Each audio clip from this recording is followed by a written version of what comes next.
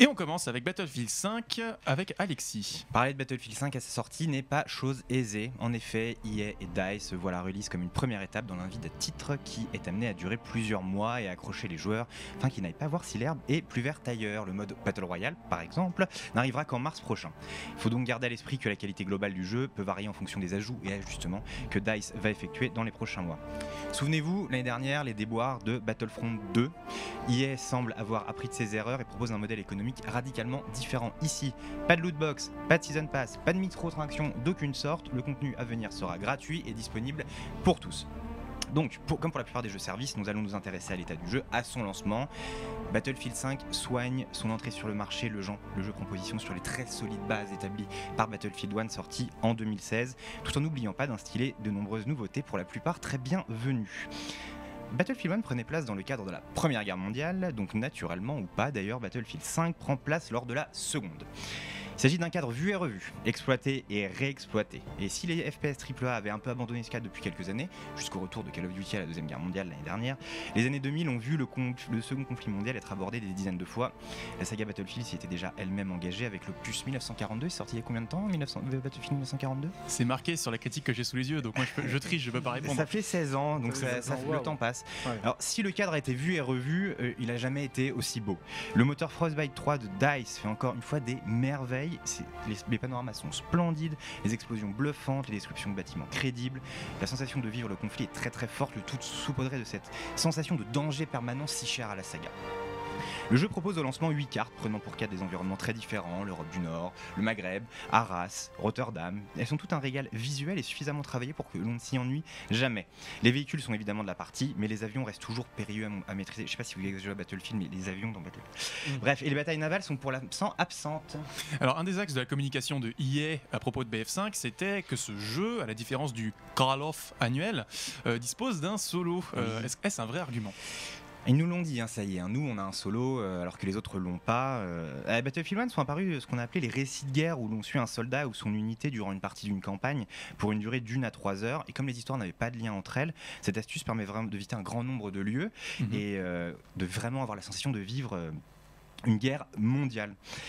Alors le problème, bon, ils sont de retour ici, de guerre. Le problème, c'est que les, les de Battlefield 1 manquaient d'originalité et c'est très inégaux et surtout ils n'utilisent pas ce qui fait le succès de la saga, qui est vraiment les batailles à grande échelle. On n'a aucune bataille marquante qui permet de comprendre qu'on vit vraiment la deuxième guerre mondiale et passer la frustration du classique couloir scripté. euh, L'horreur des FPS solo, euh, ben en fait euh, on se rend compte que c'est pas si intéressant. Il y a quelques, quelques-uns qui sont bien écrits, notamment un sur les tirailleurs sénégalais, mais passer les 7 heures de, de ce solo, on verra plus ça comme un vague tuto permettant de- d'envisager le gameplay pour aller après se friter en, en multi.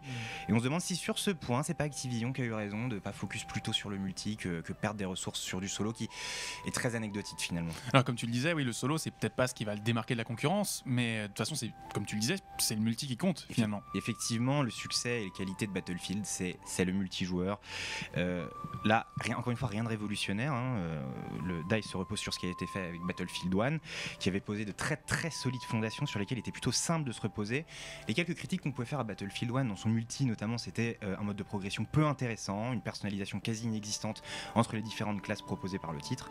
Alors là, DICE rectifie le tir. Il propose une euh, personnalisation totale de chacun de ses personnages, par classe et par armée, en gros.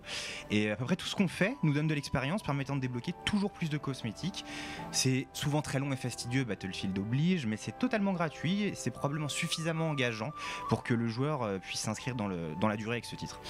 On, se re- on retrouve donc les quatre classes déjà présentes dans le précédent op- opus qui subdivisent chacune en deux catégories. C'est assez intéressant parce que par exemple la classe Assaut, qui est la classe de base, peut se, se spécialiser dans l'attaque de véhicules blindés. Donc on peut Mhm. vraiment avoir quelque chose de très très stratégique et très tactique. Donc chaque classe a aussi été un petit peu euh, modifié, ajusté. euh, et euh, je, je vous re- je vous renvoie à mon test que j'ai écrit sur le site VL pour, pour des choses un peu plus techniques, mais globalement. Le lien sera dans la description. Le, le jeu met l'accent sur, sur la coopération, ça c'était un, un aspect très fort dans les premiers Battlefield qu'on a un petit peu perdu ces derniers temps. Et là aujourd'hui, il y a vraiment un intérêt à jouer en escouade à 5 et des, vrais, des réels avantages, comme par exemple la possibilité de réanimer un joueur qui est tombé même si on n'est pas médecin. Les modes de jeu, encore une fois, allez voir mon test, c'est très classique.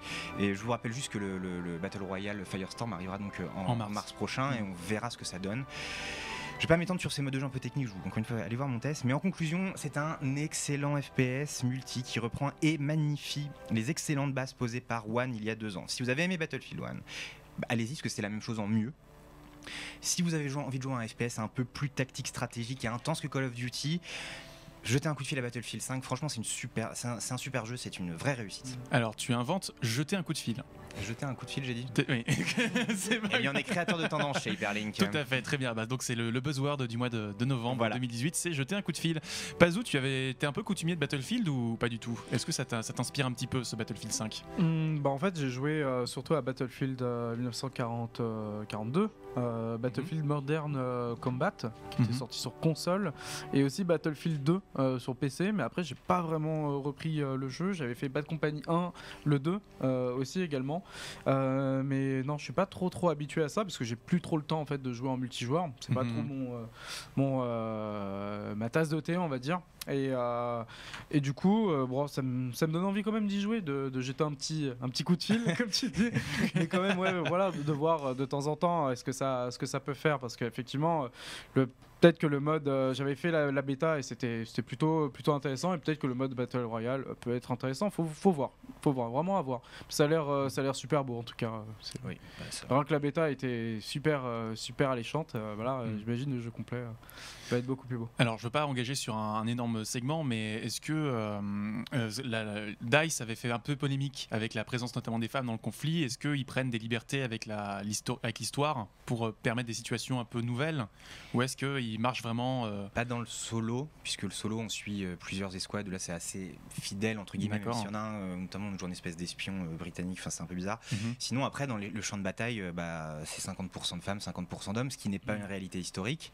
Mais mhm. moi, qui à titre personnel, ne me dérange pas non plus. L'impératif ludique prend le pas sur l'histoire, c'est ça le.